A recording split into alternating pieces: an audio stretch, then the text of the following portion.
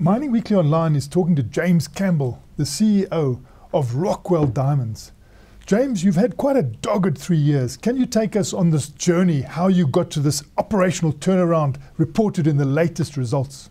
Thank you very much indeed, Martin, for that. The, the turnaround actually started when Dr. Mark Bristow took over the uh, CEO, acting CEO role just over three years ago. And he created a, a very clear strategy to focus on the assets in which were the foundation or the bedrock of the company, which is the Middle Orange River. And, and to dispose or to basically re engineer those assets which were not making money at all, not breaking even. So when I came on board just under three years ago, I joined on, on the 1st of June three years ago, we started to give effect to that strategy itself. So if I look at briefly where we were three years ago and where we are now, Three years ago, we had Saxendrift Mine, uh, which was our flagship producer in the Middle Orange, running at about 120,000 cubic meters uh, per month. That's now running just under 180,000 cubic meters per month.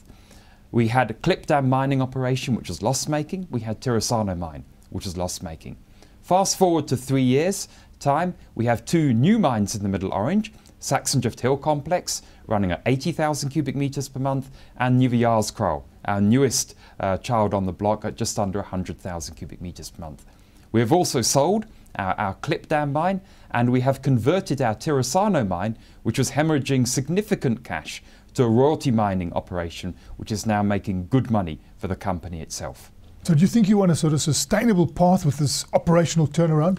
The core focus, Martin, is to actually get to a half a million cubic metres of quality processed gravel per month. That number actually comes from the point that if we are processing one and a half million cubic metres per quarter, we will start to get earnings visibility.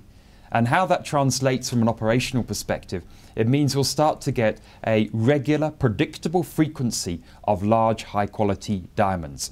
We have worked out that you need at least three processing plants each of which must have at least two open faces to give you that kind of optionality. And we're, let's say, three quarters of our way towards that half a million cubic meters uh, per month. We started at 120, as I said, three years ago. We're now up to just over 350,000 uh, cubic meters per month. What will be your next step? Our next step is we're, we're looking and evaluating the possibility of expanding Nieuwejaarskraal. Now, this was always on the cards because Nieuwejaarskraal has got a, a, life of mine in excess of 10 years.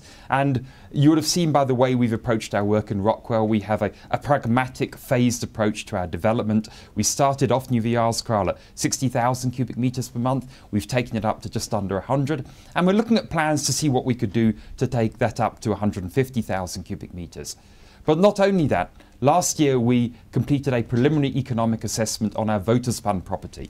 Wouters again, is a very long life property which we haven't uh, done any work on in the last three years apart from upgrading the, the technical and economic aspects, and it is very attractive. But in order to make a, a, a, take a reasonable turn on Wouters we need to mine it at a rate of round about 350,000 cubic meters per month. And we're looking at ways and means in which we can have a phased approach to actually get to that without resorting to a, a massive capital uh, investment where we would have to seek investment from the market and others. Just tell us how you've made do during this time, not going to the market in tough times. Two things, really. Uh, the first thing is, is a fantastic team. You know, we, we managed to be able to deliver on uh, all that we said in terms of our, and our projects and our delivery. So the team who I'm with at the moment are committed to turning Rockwell around and are committed to making Rockwell a successful mid tier diamond mining company. The second thing is that it's a legacy issue, that we had a lot of kit and material floating around the different operations bought. So we were able, almost in the form of a jigsaw puzzle, uh, to put these pieces of, of, kit together without having to go and buy significant capital assets. And I think that's, that's what enabled us to get to this point. And in a way, we were reflecting last year that us being able to stress the balance sheet in this way, by stressing the people and more importantly stressing the balance sheet in terms of moving our assets around was a great advantage at that point in our, in our company's history and could possibly be the, still the same now. But that may not be the same actually going forward, whereas we don't want to be put our balance sheet under such massive duress as we have done in the past. And you've managed to do this operational turnaround, when can you translate that into a net profit situation? it all goes back to our strategy. Once we actually get to that half a million cubic meters uh, per month, we'll start to get that earnings visibility. One of the things you'll see in our news release of today is we've published our seventh successive quarter of revenue growth. And we hope there could be one or two more in store with that. But once you get up to that half a million cubic meters, you start to get that kind of consistency, which will start to give you that bottom line profitability. Now, obviously, what we look at first is firstly getting that operational profit. Uh, you would have also seen a, a reduction in general and, and administration costs uh, during the quarter as well, and that trend will also continue.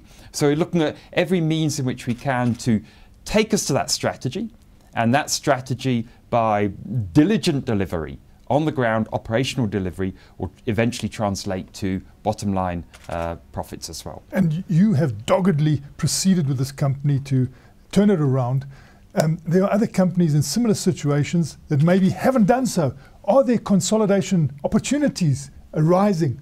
Martin, I firmly believe there are. If you look at the number of uh, private diamond mining companies as well as public companies listed both in Canada, Australia, and in the, on the London market, there are a number of companies out there with single assets. And the one thing that Rockwell has is it has, a, as I've spoken about earlier, a, a great management team, and it has supported by a wonderful board. And we feel with our focus on in South Africa, and we are very committed to South Africa, that we have a management team that could take on other assets and convert our organic growth strategy into a corporate strategy to become a successful mid-tier Southern African focused diamond mining company. And how would you fund something like that? I think there is an appetite for the at the moment in, in the diamond market and in the markets in general. We've seen that diamond pricing has remained very, very good, uh, especially amongst the, the larger stones. You may have seen uh, how we published the news on the 109 carat vivid yellow stone, uh, which was bought within six months of it actually being mined. Uh, which is a phenomenal kind of uh, achievement, but it reflects the economics outside there. And I think the, the investment market is looking for two things at the moment. Obviously, it is looking for performance. And of course, I look for the same when I look for investing money. And I think Rockwell has begun to demonstrate that level of performance. And when you're in the diamond mining industry, it's not just the reflection, as I've said at the moment, on getting to half a million cubic meters, but you need to have significant assets under management so you can weather the bad times when they come as well. And so this is what we're looking for. We're looking for those opportunities, and, and we're talking to a number of people in that regard. Uh, that was James Campbell talking to Mining Weekly Online.